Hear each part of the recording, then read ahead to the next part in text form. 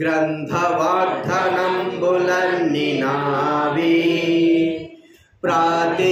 विध्ययामो वरुसवचनमो तान दिव्यप्रेमवर्धनम्बुलो ग्रन्थवर्धनम्बुलन्निना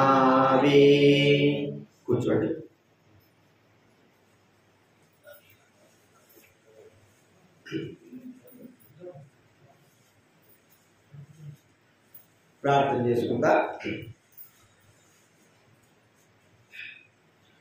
పరలోకమందున తండ్రి మిమ్మల్ని కృతజ్ఞతాలు చెల్లిస్తుంటున్నాం మీ నామం మీద నాటి చెప్పబడాలి. అమ్మవారి తగ్గింపబడాలి. మీ వందనాలు. తండ్రి మిమ్మల్ని ఆరాధించుకుని మేము వచ్చి ఆత్మతో సరిగ్గా మేము అందరూ ఆరాధించు ఆరాధించలేని వారి తమ హృదయంలో రక్షణ గురించి పశ్చాత్తాపంలో ప్రయత్నించండి కావలసిన బాగా తగ్గించండి. పాటల ద్వారా మేము స్థుతించినా కనపరచండి దైవాటి ద్వారా మేము మాట్లాడవలసిన మనం చేస్తూ కృతజ్ఞమైన స్థుతి చేస్తూ యేసు ప్రభువు నామమున ప్రార్థిస్తున్నాము తండ్రి. దైవ గ్రంథంలో వచ్చి ఆది కాంతం ఆది కాంతి అని బైబిల్ ముందు భాగం నుంచి ఏ విధంగా చెప్తాను చిన్న దాంట్లో ఉంటుంది పెద్ద దాంట్లో ఉంటుంది చూడండి పెద్ద దాంట్లో ఉంటుంది. బైబిల్ ముందు నుంచి పన్నెండో పేజీ. బైబిల్ ముందు నుంచి పన్నెండో పేజీ. ఆది కాండం పద్దెనిమిదో అధ్యాయం పన్నెండో పేజీ. పద్నాలుగో వచ్చిన మనం అందరం కూడా కలిసి చదువుకుందాం. ఆది కాండ పద్దెనిమిదో అధ్యాయము పద్నాలుగో వచనం. బైబిల్ ఉన్నవారు బైబిల్ పెద్ద బైబిల్ ఉన్నవారు బైబిల్ ముందు నుంచి పన్నెండో పేరు. పద్దెనిమిది పద్నాలుగు. యహోవాకు అసాధ్యమైనది ఏదైనా ఉన్నదా? మీదట ఈ కాలం ఎండాకాలం ఎదురు తిరిగి వచ్చినప్పుడు షారాకు కుమారుడు కలుగునెను దేవుడికి అసాధ్యమైనది ఏది కూడా లేదు అని మరి మనం చూస్తూ వచ్చాం. ఈ సంవత్సరం అంతా కూడా దేవునికి అసాధ్యమైనది ఏది లేదు. ఈ లోకంలో మానవుడికి అసాధ్యమైనవి మరి లేవు అని నిరూపిస్తూ ఉన్నారు కానీ ఎన్నో క్రియలు అసాధ్యమైన ఉన్నాయి. ఎన్నో క్రియలు. బైబిల్ గ్రంథంలో మానవుడికి అసాధ్యమయ్యే క్రియలన్నిటిని గురించి దేవుడు వ్రాయించి పెట్టాడు. ఇవి ఎవరైనా చేయగలరా? యోగ గ్రంథంలో ఇంకా పలు గ్రంథాలలో? ఇవి ఎవరైనా చేయగలరా అని వ్రాయించి పెట్టాడు. ఎవరు కూడా అలాగా చేయలేకపోతున్నారు. అయితే ప్రభు అయిన దేవునికి మాత్రము సమస్తము సాధ్యం. మరి ఆయన ఎంత శక్తివంతుడు ఎంత బలవంతుడు ఎంత జ్ఞానవంతుడు ఎంత వివేచన కలిగిన వాడు? అంటే దైవ గ్రంథమే మనకు చెప్తా ఉన్నాయి. ఎంతో గొప్ప బలం ఎంతో గొప్ప ఆలోచనకర్త ఎంతో గొప్ప మరి శక్తి కలిగిన వాడు. వివరించలేం. వివరించలేనంత శక్తి కలిగినటువంటి పరమదేవుడు మన ప్రభు యేసు క్రీస్తు ఇప్పుడు మనము ఆయన యొక్క శక్తి సామర్థ్యాలను రెండు విషయాల్లో మనం చూడగలిగితే రెండే రెండు విషయాల్లో. యశా గ్రంథం అరవై ఆరో అధ్యాయం. పెద్ద బైబిల్ ఉన్నవారు బైబిల్ మధ్యలో నుంచి. బైబిల్ మధ్యలో. చిన్న బైబిల్ ఆరు వందల ఇరవై ఐదు బైబిల్ మధ్యలో నుంచి ఆరు వందల ఐదు పెద్ద బైబిల్ ఉన్నవారు అరవై ఆరో అధ్యాయం మొదటి వచ్చిన మాత్రం చదువుకున్నాం బైబిల్ మధ్యలో నుంచి ఆరు వందల ఇరవై ఐదో పేరు. యశా గ్రంథం అరవై ఆరో అధ్యాయం. మొదటి వచ్చిన మనం అందరం కూడా కలిసి చదువుకున్నాం మొదటి వచ్చిన యహోవా ఇలాగ ఆజ్ఞించుతున్నాడు ఆకాశము నా సింహాసనం భూమి నా పాలపీఠం మీరు నా నిమిత్తం కట్టను ఉద్దేశించు ఇల్లు ఏ పాటిది నాకు విశ్రమ స్థానంగా మీరు కట్టను ఉద్దేశించినది? ఏ పాటిది? ఆకాశము నా సింహాసనం భూమి. ఆకాశం ఆకాశం అంతా కూడా మనం చైర్లో కూర్చుంటే మనకు చేరు మన స్థి స్థితికి తగ్గట్టుగా మన శరీరానికి తగ్గట్టుగా చేరును తయారు చేస్తారు. ప్రతి చేరు కూడా అంతే. మరి దానికి దాటిపోతే మనం ఏం చేయలేం. అయితే ఆకాశము ఎంత ఉందో ఆకాశ విశాలం ఎంత ఉందో ఎవరికి తెలియదు కానీ ప్రభువైన దేవుడు ఆకాశము ఆయన సింహాసనముగా కూర్చున్నాడని మాట మనం చూస్తాం. భూమి భూమి కూడా ఎంతని పరిమాణం. మనము భూమి మీద నివసిస్తున్నాం కాబట్టి ఆ పరిమాణం యొక్క కొలతలు మనం చెప్పలేము. అయితే దేవుడు భూమి యొక్క పరిమాణ కొలత ఏమని ఎలాగ చూపిస్తున్నాడంటే తన పాదపీఠముతో సమానంగా చూపిస్తాడు. మరి ఇంతటి గొప్ప దేవుడు ఆకాశంలో కూర్చున్నవాడు భూమిని పా భూమి తన పాదాల కింద పెట్టుకున్నవాడు. ఆకాశం భూమి ఎలాంటిది అని మనం ఆలోచిస్తే లేవియా కాండం బైబిల్ ముందు భాగం నుంచి బైబిల్ ముందు గొప్ప పెద్ద బైబిల్ ఉన్నవాళ్ళు నూట ఐదో పేరు. బైబిల్ ముందు నుంచి నూట ఐదో పేరు. లేవియా కాండం ఇరవై ఆరో అధ్యాయం. పంతొమ్మిదో వచ్చిన నేను చదువుతా వినండి. లేవియా కాండం ఇరవై ఆరో అధ్యాయం పంతొమ్మిది వచ్చాడు బైబిల్ ముందు నుంచి నూట ఐదో పేరు. నా మీ బలగర్వమును భంగపరచి ఆకాశమును ఇనుము వలను భూమి ఇత్తడి వలను ఉండ చేసేదను. ఆకాశం ఏం చేస్తున్నాడండి ఇనుము భూమి ఇత్తడి వలె ఉండ చేస్తుంది. ఇనుము చాలా గట్టి. ఇత్తడి కూడా చాలా గట్టిది. ఇప్పుడు ఆకాశము అంత ఆకాశమంతా కూడా సింహాసనం చేసుకున్న ఆ ప్రభు ఆకాశము ఇనుము వలె ఉంటున్నటువంటి దాన్ని ప్రభుని దేవుడు వంచి ఈ లోకంలో దాని అంతటి వంచి ఈ లోకంలో వచ్చేటువంటి దేవుడు. అంటే ఆకాశాన్ని వంచగలిగినటువంటి శక్తి సామర్థ్యములు ఆకాశం ఎక్కడం కాదు. ఆకాశాన్ని వంచగలిగిన శక్తి సామర్థ్యాలు కలిగినటువంటి ప్రభు మన దేవుడు. చూడండి బైబిల్ గ్రంథంలో కీర్తన బైబిల్ మధ్యలో నుంచి. బైబిల్ మధ్యలో నుంచి నాలుగు వందల యాభై తొమ్మిది పద్దెనిమిదో అధ్యాయం.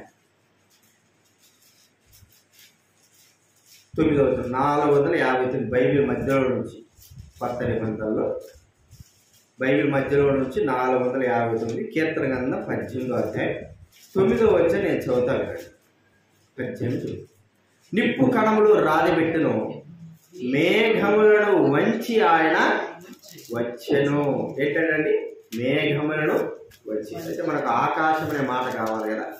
అది కీర్తన కింద నూట నలభై నాలుగవ కీర్తన. బైబిల్ మధ్యలో నుంచే ఐదు వందల ఇరవై ఏడవ పేజీ. ఐదు వందల ఇరవై ఏడో పేజీ బైబిల్ మధ్యలో నుంచి. ఐదు నూట నలభై నాలుగు కీర్తన ఐదవ వచనం. ఐదవ వచనం.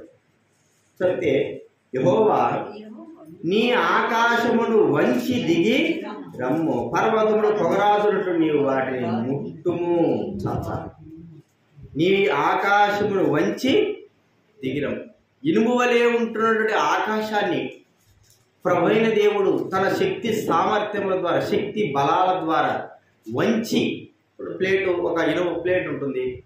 ఇనుము ప్లేటు దాని యొక్క దాని యొక్క శక్తిని బట్టి దాని పరిమాణాన్ని బట్టి మానవుడు ఆ శక్తిని ఉపయోగించగలరు ఒక రేకులాగా ఉందనుకోండి. రేకుని ఏం చేస్తారంటే చిన్నపిల్లలు కూడా వచ్చి వేయగలరు దానికంటే కొద్దిగా బరువుగా తిక్కుగా ఉంటే దాన్ని చిన్నపిల్లలు వంచలేదు. కొద్దిగా పెద్ద వయసు కలిగిన వారు వంచేస్తారు.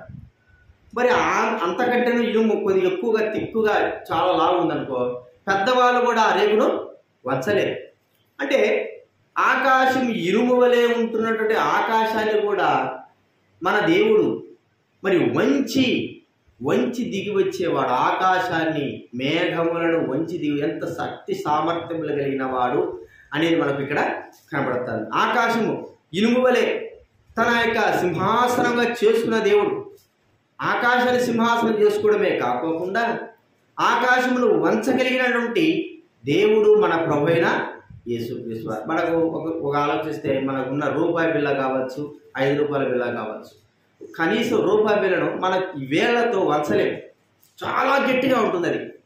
చాలా గట్టిగా ఉంటుంది. కొంతమంది ఇంకా బలశాలు అయితే రెండు చేతులతో కలిపి ఉంచుతున్నారు ఒక చేతితో వంచడానికి వీలు కాదు ఒక రూపాయి బిల్ల అంత గట్టిది. మరి ఆకాశమే దేవుడు వంచగలుగుతున్నాడంటే ఆ దేవుడు ఎంత గొప్పవాడు? ఆ దేవుడు ఎంత శక్తి సామర్థ్యాలు కలిగినవాడు ఆ దేవుడు ఎంత గొప్ప పరిమాణం కలిగినవాడని మనం ఒకసారి గుర్తించాలి.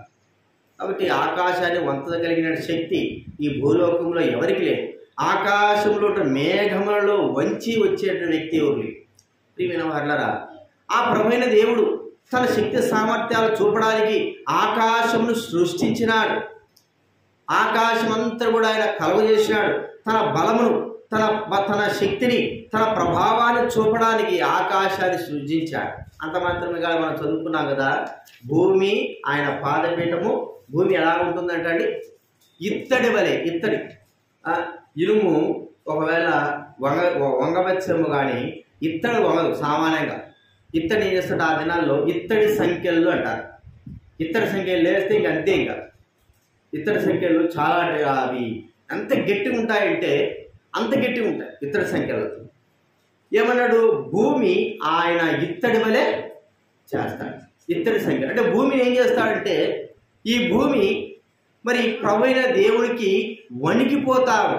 గజగజ వణికిపోతారు. ఒక దినం వస్తుంది భూమిని సృజించిన ప్రభు. ఈ భూమిపైకి ఆయన రావలసి ఉన్నది. భూమిపైన నడవలసినది భూమిపైన తన యొక్క అడుగులు వేయవలసినది అప్పుడు భూమి ఏమైపోతుందంటే బద్దలుగా చీలిపోతుంది చూడండి జకర్యా గ్రంథం. పాతదే పెద్ద బైబిల్ ఉన్న వాళ్ళే. బైబిల్ వెనక నుంచి కొద్దిగా చూడండి. ఈ మధ్యలో నుంచి తర్వాత ఏడు వందల ఎనభై మూడవ పేజీ. బైబిల్ మధ్యలో నుంచే ఏడు వందల ఎనభై మూడు. పద్నాలుగో అధ్యాయం. నాలుగో వచనం. జగర్యా గ్రంథం పద్నాలుగో అధ్యాయము. నాలుగో వచనము.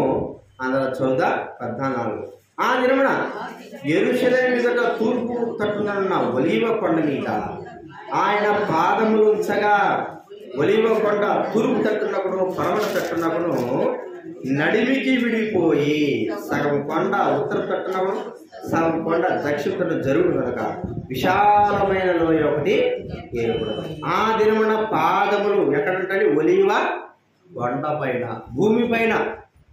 వాళ్ళరా భూమిపైన పరమదేవుడు తన యొక్క పాదం ఉంచితే ఏమైపోతుందంటే పగిలిపోతుంది అయితే ఆయన తగినట్టుగా భూమిపై నడుస్తూ ఉన్నాడు. ఒక చిన్న ఏదైనా బాల్ పిల్లలు తారి మట్టితో తయారు చేసుకున్నారు అనుకోండి మనలాంటి వాళ్ళు ఒక కాలు దానిపైన వేసినారనుకో బాల్లా ఉన్న దానిపైన మట్టి ఏమవుతుంది? పగిలిపోతుంది మరి ఆకాశము మరి భూమి ఆయన పాదపీఠంగా చేసుకున్న ఆయన ఒక్కసారి లేచి నిలబడి కాళ్ళను మన యొక్క భూమి పైన ఉంచాడనుకో మా భూమి అంతా కూడా పగిలిపోతుంది. ఇత్తడిగా ఉన్నటువంటి భూమి కూడా పగిలిపోవడము అనేది మనం చూస్తా అంటే తన శక్తి సామర్థ్యాలను దేవుడు భూమి పైన భూమిని కలగజేసి ఇత్తడి వలె ఉన్న భూమి అయినా సరే ఆయన పాదం పెట్టంగానే పాదము ఆయన పాదం కింద ఒలివకుండా ఒలివ కొండ బద్దలుగా రెండుగా సగముగా చేయబడడం.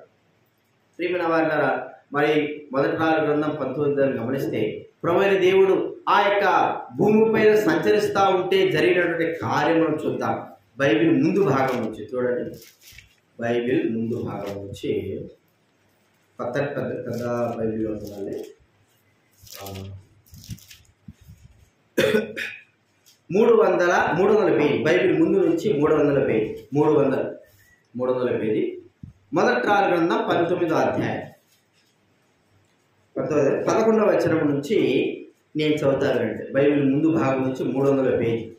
మొదటి రాలు గ్రంథం పంతొమ్మిదో అధ్యాయం పదకొండవ వచనం నుంచి. అందుకు ఆయన నీవు పోయి పర్వతం మీద యహోవా సమగ్రం నిలుచుండమని సెలవిచ్చాను. అంతటా యహోవా ఆ వైపున సంచరింపగా. బలమైన పెనుగాలి లేచెను.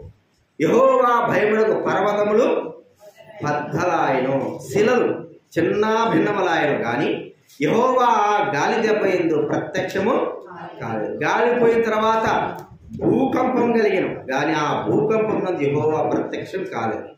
భూకంపం ఆ భూకంపమైన తర్వాత మెరుపులు పుట్టారు కానీ ఆ మెరుపునందు యహోవా ప్రత్యక్షము కాలేదు.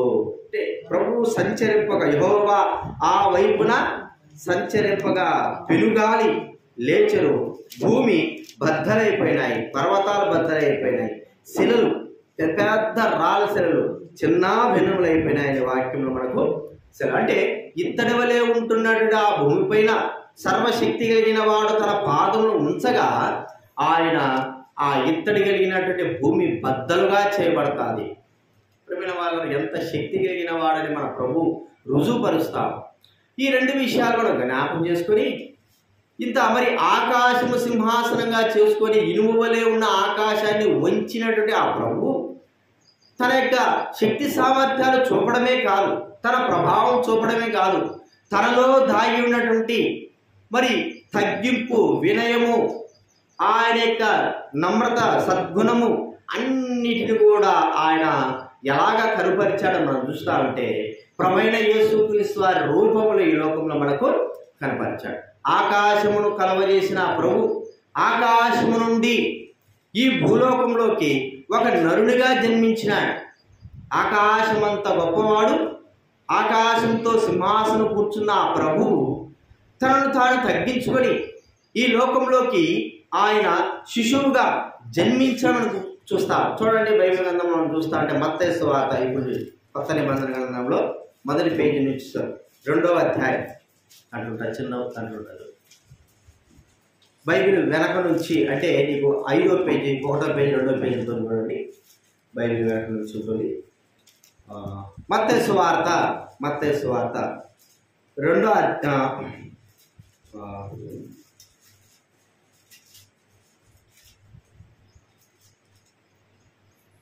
రెండో అధ్యాయంలో ఇరవై వచ్చిన మాత్రం క్షమించారు ఒకటో అధ్యాయం ఇరవై వచ్చిన ఒకటో అధ్యాయం ఇరవై వచ్చిన అతను ఈ సంగతుల గురించి ఆలోచించుకొని చుండగా ఇదిగో ప్రభు దూత స్వప్నమందతని ప్రత్యక్షమై దావీదు కుమారుడైన యోసేపు నీ భార్య అయిన మరిని చేర్చుకున్నటకు భయపడకుము.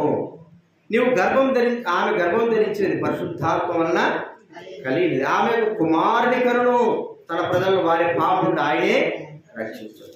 ప్రభుని దేవుడు ఆకాశంలో వంచి వచ్చేటువంటి ఆ ప్రభు ఆకాశాన్ని కూడా వంచగలిగి శక్తి కలిగినటువంటి ఆ ప్రభు ఈ భూలోకంలోకి ఎంతగా తగ్గించుకున్నాడంటే శక్తి సామర్థ్యంలో అన్నిటిని కూడా వదిలిపెట్టి ఈ భూలోకంలో మనందరి కొరకై ఆ ప్రభైన యేసు క్రీస్తు మరి కన్యక గర్భాన జన్మించినాడు అనేది మనం చూస్తా ఉంటాం ఆయన శక్తి ఎంత గొప్పదో ఆయనలో ఉన్నటువంటి దీనత్వం కూడా అంత గొప్పదే మనం చూస్తాం. ఆయన శక్తి ఎంత గొప్పది? భూమిని. మరి గడగడలాడించిన శక్తి. ఆయన కాలు పెట్టగానే భూమి విడిపోయేదిగా బద్దలయ్యేదిగా మనం చూస్తూ ఉంటున్నాం. ఆకాశం. ఆయన ఆకాశం వంచి ఆకాశం పరచగలిగిన వాడు వంచగలిగిన శక్తి కలిగిన వాడు అలాంటి వాడు ఆకాశంలో నుంచి ఎలాగ దిగివచ్చాడంటే సాధారణమైన మానవునిగా దిగివచ్చాడు. శక్తి సామర్థ్యాలన్నిటిని కూడా వదిలిపెట్టి సశరీరుడుగా ఆకాశంలో వచ్చాడు కాబట్టి ఇప్పుడు ఆయన గొప్పతనాన్ని మనము కీర్తిస్తా ఉన్నాం. ఎలాంటి గొప్పతనము? ఆకాశమును వంచగలిగిన శక్తి కలిగిన వాడు. ఆకాశంలో నుండి ఒక సాధారణ మానవుడిగా జన్మించడం అనేది చాలా గొప్ప విషయం. ప్రియమైన వాళ్ళరా ఏ తండ్రిన దేవుడు అందరూ తన ఎదుట మానవులందరూ కూడా సృష్టి అంతా కూడా ఆయన ఎదుట మోకాలు వంగి తీరాలి. అంతటి గొప్పవాడు. ఆయన పాదపీఠంగా పాదపీఠం కింద ఉండాల్సిందే.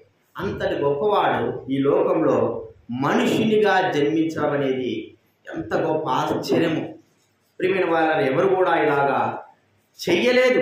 చెయ్యలేరు కూడా. అసాధ్యమైన కార్యమది. ఎందుకంటే అందరూ కూడా ఉన్నత స్థానంలో ఉండాలని కోరుకుంటారు. ఉన్నతంగా ఉండాలని కోరుకుంటారు. కానీ తనను తాను తగ్గించుకోవాలనే ఆలోచన ఏ మానవుడు కూడా కలగదు. అయితే ప్రభుని యేసుక్రీస్తు వారు కేవలం ఎవరి కొరకు?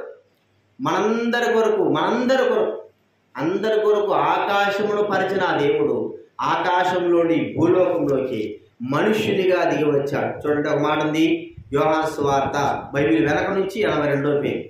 దాంట్లో ఉంటా చూడి యోహాన్ స్వార్త. మూడో అధ్యాయం. మూడో అధ్యాయం. పదమూడవ వచ్చిన బైబిల్ వెనక నుంచి ఎనభై రెండవ పేజీ యోగాస్వార్త మూడో అధ్యాయము. పదమూడవ వచనం నేను చదువుతా వినండి. పదమూడవ వచనం. పైన యోహాన్ అని ఉంటుంది ఇండెక్స్ అని. పేజీ నెంబర్ చూపించిన. రవీంద్ర మూడో అధ్యాయము. పదమూడు వచ్చిన నేను చదువుతా వినండి. ఎనభై రెండో పేజీ. బైబిల్ వెనక నుంచి ఎనభై రెండో పేజీ.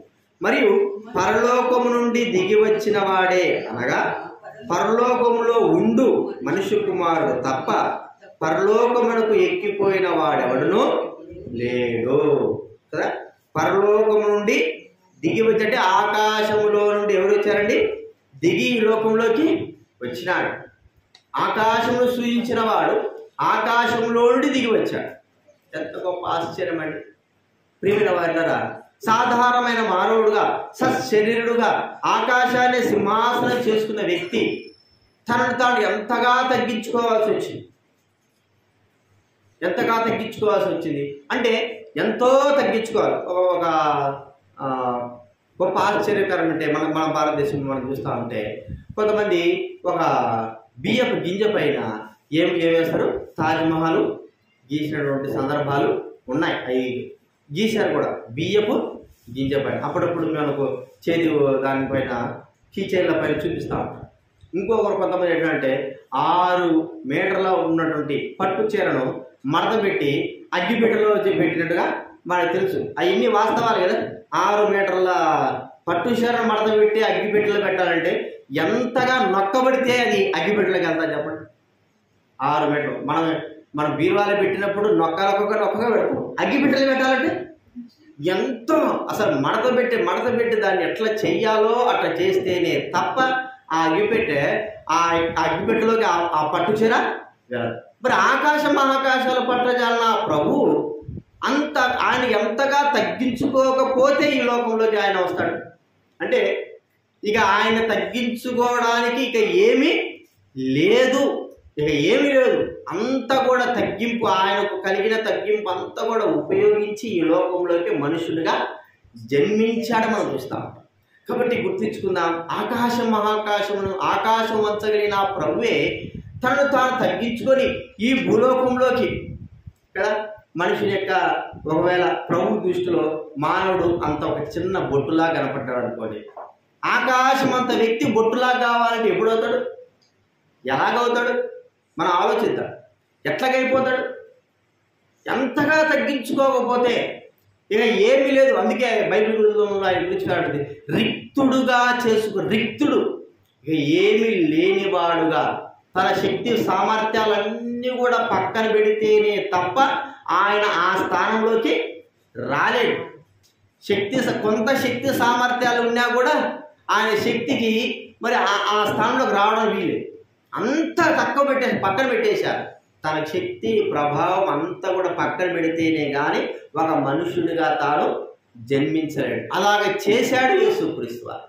కాబట్టి మనం ఆలోచిస్తే ఆకాశంలో నుంచి వచ్చిన ప్రభు ఆకాశంలో నుండి ఎలాగ వచ్చాడంటే రిక్తుడుగా తన శక్తి సామర్థ్యాలన్నీ తగ్గించుకొని ఇక ఏమి లేనివాడుగా ప్రపంచమే సమస్తం ఆయన చేత సృజింపబడితే ఆయననే ఈ లోకంలో ఒక వ్యక్తిగా సృజింపబడినట్టు వ్యక్తిగా చేయబడ్డాడు.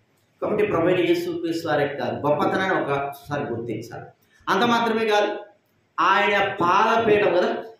భూమి ఏమిటండి? ఆయన పాలపీఠం ఎంత పెద్ద భూమి? ఈ భూమిని కొలవలేకపోతున్నారు మానవుడు. అందాసు అందాసు ఊరుకు మాత్రమే చెప్పగలగవరు. అంతే. ఇన్ని లక్షల కిలోమీటర్లు అంతవరకే. కానీ సంపూర్ణంగా ఆయన తనంతటిని కూడా ఆ ప్రభుణ దేవుడు తన పాదములంతా ఉంచినప్పటికి కూడా పాదపీఠం సరిపోనటువంటి ఈ భూమిపై ఆయన నడిచినాడు. ఆయన తిరిగినాడు. తన పాదములను ఈ భూమిపై ఆయన ఇట్లా పెట్టినా కూడా ఆ భూమి ఎక్కడో కింద ఉంటుంది. కానీ ఆయన తన పాదములను ఈ లోకంలో ఉంచినాడు. ఎంత గొప్పవాడండి. ఎలాగా ఈ భూలోకంలో జన్మించి భూమిపైన నడిచినాడు. ఒకవేళ అనుకుంటుండొచ్చు ప్రభా నువ్వే పెద్ద గొప్పవాడివి భూమిపై నడిస్తే తెలుస్తుంది నీ కథ. చాలా మంది అంటా అంటారు ఆ ఇటు చేయద్దు చేయద్దు నువ్వు నువ్వు చేస్తే తెలుస్తుంది అంట.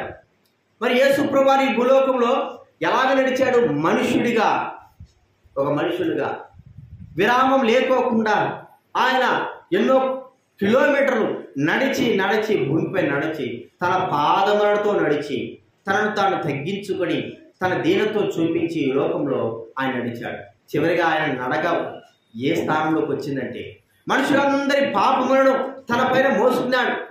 నడిచి ఆయన ముప్పై మూడున్నర సంవత్సరంలో నడిచిన మార్గం వేరు. నడిచిన స్థితి స్వార్థం వేశాడని వేశాడు.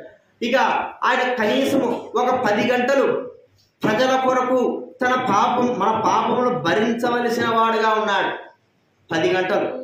ఉదయం ఆరు గంటలకి లేకపోతే రాత్రే ఆయన మొదలుపెడితే ఆయన దెబ్బలు ఆయన పైన పడిన దెబ్బలన్నిటిని కూడా మనం జ్ఞాపకం చేసుకుంటే మన పాపాల కొరకు ఆయన తన శిలువను శ్రమ అనుభవించాడు ఇక ఆయన తన వీపును అప్పగించాడు. తర్వాత ఏమైపోయిందంటే ఆయన నడక ప్రారంభించాడు. ఉదయం ఆరు గంటలకు నడక ప్రారంభించాడు. ఏం నడకదండి?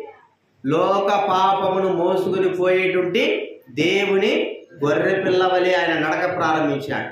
ఆయన సిలువపై సిలువ మోస్తూ చెక్కముద్దు మోస్తూ మనం ఊరికి చెక్కముద్దు అనుకుంటాం కానీ ఆ చెక్కముద్దు పైన ప్రజల పాపాలన్నిటిని కూడా ఏం చేశాడండి ఆయన? మోసుకుంటూ నడుస్తూ నడుస్తూ మోసుకుంటూ మోసుకుంటూ మోసుకుంటూ సుమారు ఒక ఎరుశలేం నుంచి ఒలివ కొండకి రెండు మూడు కిలోమీటర్లు ఉంటాయి శక్తి లేనివాడుగా బలం లేనివాడుగా శరీరంలో తన శక్తి అంతా కరిగిపోయింది పట్టబడ్డాడు రక్తం కారిపోతా ఉంది. ఎక్కడ కూడా తన శరీరం సహకరించడం లేదు. అదిగాక మరి చెక్క ముద్దును తన పైన ఉంచినారు. దీంతో పాటి ప్రభైన తండ్రైన దేవుడు మనుషుల పాపాలన్నిటిని కూడా తన పైన భుజాల పైన మోపినాడు. మోపినప్పుడు ప్రేమిన వారు నడుస్తూ నడుస్తూ కొండ దగ్గరకు వచ్చాడు ఒలివ కొండ. కొండ ఎక్కడం అంటే మనకు అందరూ తెలుసు. కొండ తెలియనట్టు లేవు ఒక చిన్న గుట్ట ఎక్కాలంటే ఎంత కష్టమో చిన్న గుట్ట ఎక్కాలి. అలాంటిది పెద్ద పెద్ద పర్వతాలు ఎక్కాలంటే మన వల్ల అవుతుంది. కనీసం ఒక కొండ ఒలివ కొండ. ఆ కొండను ఎక్కాలి ప్రభుత్వ దేవుడు ఇప్పుడు. మనుషుల పాపాలు భరించాలా? ఆ చెక్క ముద్దు భరించాలా? అన్నిటినీ కూడా ఎత్తుకొని ఆ భూమిపై నుంచి ఆ కొండపైకి ఎక్కాడు. ప్రేమైన వారిలారా అక్కడ తన శిలువను మరి అక్కడ ఉంచి అక్కడ ఆయన శిలువలో వ్రేలాడుతూ వచ్చాడు చంపబడ్డాడు. ఎందుకొరకు ఇవంటే యేసుక్రీస్తు వారు ఇంత గొప్ప దేవుడు కదా. భూమిపైకి ఆయన మరి ఈ లోకంలో ఆయన కాలు పెడితేనే భూమి చీలిపోతుంది కదా. ఆయన భూమిపై నడిస్తే భూమి బద్దలవుతుంది కదా. మరి అలాంటి దేవుడు తను తాను ఎంతగా తగ్గించుకొని ఈ లోకంలోకి రావాల్సి వచ్చిందంటే కేవలం మన కొరకు సాధారణమైన మానవుడుగా తన శక్తి సామర్థ్యాలన్నీ కూడా ప్రక్కన ఉంచి తన ప్రభావం ప్రక్కన ఉంచి ఈ లోకంలో మనుష్యుని కొరకై యేసుక్రీస్తు వారు మన పాపాలన్నిటి కూడా భరించి యేసుక్రీస్తు వారి లోకంలోకి వచ్చాడు చనిపోయినాడు. ఆయన శిలువలో వేలాడాడు. చనిపోయాడు. తిరిగి మూడో దినాన్ని లేచాడు. ప్రియమైన వారిలరా దేవుని యొక్క శక్తి ఎంత గొప్పదో అని మనం వివరించలేమే. మళ్ళీ అలాంటప్పుడు దేవుని యొక్క దీనత్వం దేవుని యొక్క సన్నిధి దేవుని యొక్క ప్రేమ ఇవన్నీ కూడా మనం ఎంతగా వివరించగలం? ఎంత కూడా వివరించలేనంత గొప్పది ప్రభు యొక్క దీనత్వము ఆయన యొక్క దయ ఆయన యొక్క వాత్సల్యత ఆయన యొక్క ప్రేమ వర్ణించలేనది. ఆయన ఎంత బలవంతుడో అంత బలహీనుడుగా కూడా ఆయన ఇంకెవరు కూడా అంత బలహీనుడు కాలేడు ఇంకెవరు కూడా అంత బలహీనమైన స్థితిలో ఉండలేరు మనం ఆలోచిస్తే ఆయన బలహీనంగా ఉండి కూడా మన పాపములను భుజములపై భరించాడంటే ఎంత గొప్పవాడు. ప్రియమైన వాళ్ళరా ఈ ఉదయకాల సమయంలో ప్రభు మనతో మాట్లాడుతున్నాడు. ఆయన శక్తి సామర్థ్యాలు ఆకాశము మహాకాశము పట్టజాలు భూమి ఆమె పాదపీఠంగా త్రొక్కవేయబడగలడు. ఆయన నడిస్తే భూమి బద్దలవుతుంది. అలాంటి వాడు ఈ లోకంలో ఆకాశం నుండి ఒక సాధారణమైన మానవుడుగా తనను తాను తగ్గించుకొని ఈ లోకంలో జన్మించడమే కాకుండా భూమిపై ఆయన సంచరిస్తూ ఉన్నప్పుడు మనందరి పాపమును ఆయన భరించాడు. ఒక మాట ఆలోచిస్తే మన పాపాలు ఎంతటివి ఏం చెప్పగలము? ఒక భక్తుడు అంటాడు ఆకాశాన్ని నా పాపాలు అంటుతున్నాయి పాపాలు మనం చేసిన తప్పులు ఒకటి ఒకటి అబద్ధాలు అబద్ధాలు ఒకటి ఒకటి లెక్కించి పెడితే ఏమవుతుంది చెప్పండి? ఆకాశాన్ని అంటుతాయి. ఒక్కొక్కరు ఒక్కొక్కరు పాపాలే ఆకాశంలో ఉంటే ఇంక ఎంతమంది పాపాలు ఉంటాయి? ఎంత భారం? భూమి ఆ పాపాలను భరించలేకపోయిందంట. మనుషులు మరే ఏయ్ మనుషులు భరించడమే ఒక సంగతి అయితే మనుషుల పాపాలు ఇంకా భారం మనుషులు భరించడమే ఒక సంగతి. దానికి తోడు మనుషుల పాపాలు ఎక్కడున్నాయంటే ఆకాశానికి అంటి ఉన్నాయి.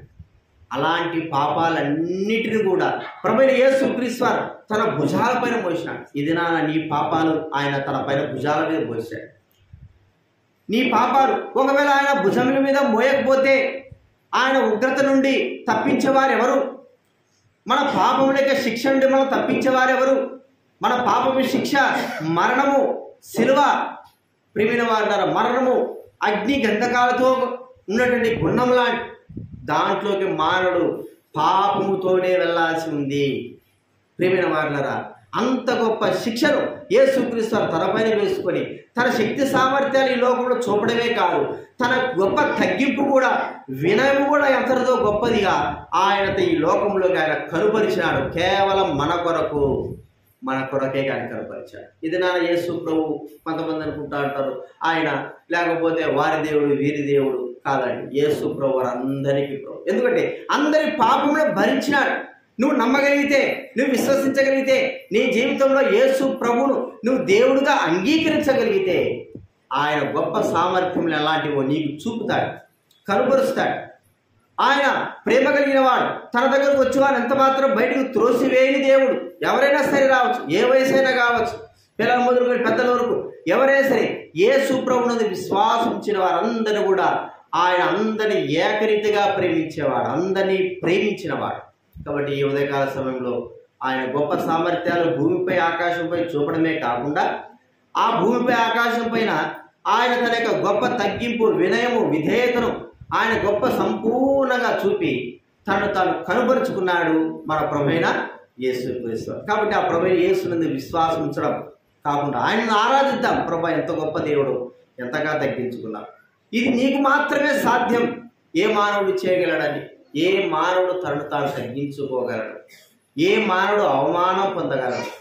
ఏ మానవుడు శిరుడు సహించగలడు? ఏ మానవుడు మన కొరకై మన పాపమును తన పైన భరించగలడు? అందరూ పైపైన రాజసింహాసనంలో రాజసింహాసం కూర్చోవాలని కోరుకునేవారే కానీ తగ్గించుకునే వ్యక్తి ఎవరు ఈ లోకంలో కనబడరు. మానవుడికి తగ్గింపంటే ఇష్టం లేదు. అందుకే ఇక పై పైన ఉండాలి సింహాసనం పైన ఉండాలి అయ్యి ఉండాలి ఇవి ఉండాలి? ఆ బుద్ధితో ఏం చేస్తాడు ఈ లోకంలో చాలామంది ప్రజలను అదో గదిలోకే ఉంచుతూ ఉంటారు. కాబట్టి యేసుక్రీస్తు వారు తనను తాను ఎంతగా తగ్గించుకున్నాడంటే ఒక రిక్తుడుగా ఏమి లేనివాడుగా ఆకాశ మహాకాశం పట్టజాలినవాడు ఆకాశాన్ని వంచి భూమిని మరి తన పాదపీటకు చేయగలిగిన వాడే ఈ లోకంలో ఒక తగ్గింపుగా వచ్చాడంటే నిన్ను నాను ఎంతగా ప్రేమించాడో ఒకసారి గుర్తించాను కాబట్టి విషయాలు జ్ఞానం పెట్టుకుందాం. ఆ ప్రేమ కలిగిన దేవుడు మనం ఆరాధించి గనపరుద్దాం లేచినప్పుడు మనం మనం పాల్పడతాం